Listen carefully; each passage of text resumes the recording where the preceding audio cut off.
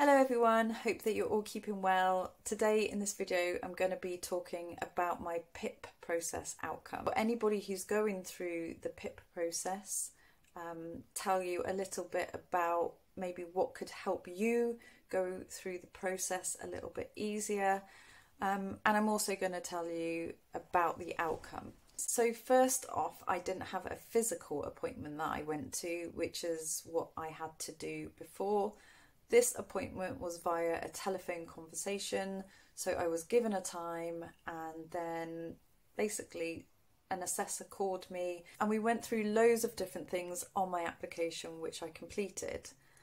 There are many questions that they will take you through. Um, most of the stuff you've already answered on your application form. My first piece of advice to anybody who is going through the PIP process is to just be as honest as you can about your condition and how it affects you. Because at the end of the day those assessors are going to ask you. And if you've put down any false information or misleading information it's not going to go in your favor because you have to be as genuine and as honest as possible um, I filled in the application form on my own. I did not go down the route of getting the citizens' advice to help me, or anybody actually else for that matter, because to be quite honest with you, I know my MS better than anybody else. Even though I filled this in myself, I did actually have help through the most amazing uh, website which I found which helps with things like this and even goes through help with appeals if you need to appeal your PIP and everything like that. So I will put the website here to let you know. Have a look at that. It goes through anything that you need to know about this process, any questions that you have, any disputes that may come up, or any appeals or anything. If you have chronic fatigue with your MS, they're not going to give you PIP because you've got chronic fatigue. They are going to give you PIP because of how chronic fatigue makes you feel. Does it mean that you have to be in bed for three or four days out of an entire week? Does it mean that any tasks that you complete are going to be completed in double or triple the time that a normal person without MS would take to do? Does it mean that that is affecting you and your mental health as well? These are all taken into consideration because, to be quite honest, people don't understand about um, multiple sclerosis.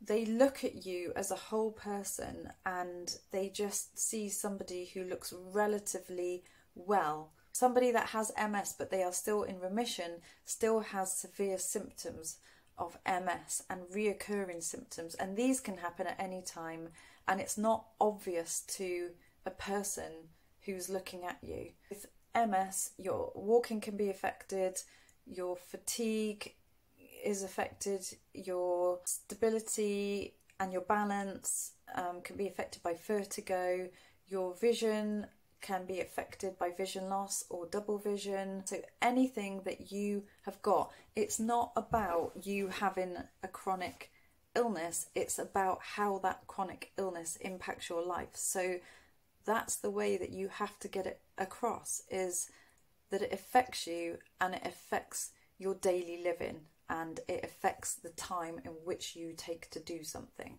the experience overall with the lady on the phone was, you know, I was so impressed by her patience. Um, I'm actually going to get upset because because um, uh, I can't. If I wish, like, um, I could see her to say thank you to the to her for the way that she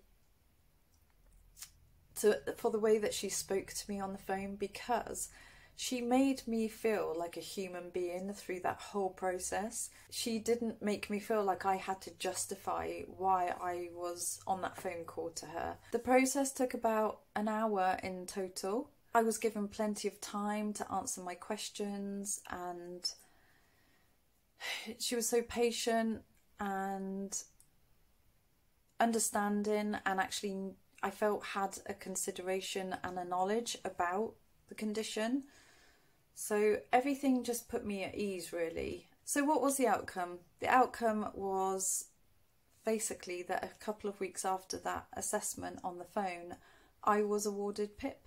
I wish that I could find the lady who did the assessment with me and just thank her. Thank her for making me feel like a valued human being and um, yeah, just changed my whole experience and my whole belief in the system. She changed that for me.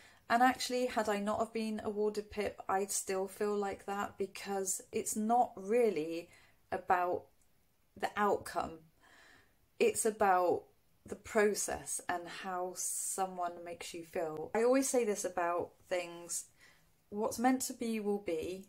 Um, never give up on anything and just have belief in yourself and have belief in the process and things will come right.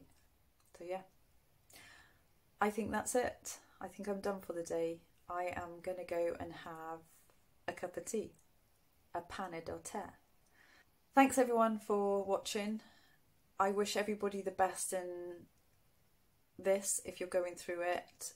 And as I said, if you have any questions, please message me. Okay, everyone, take care and be back soon. Bye.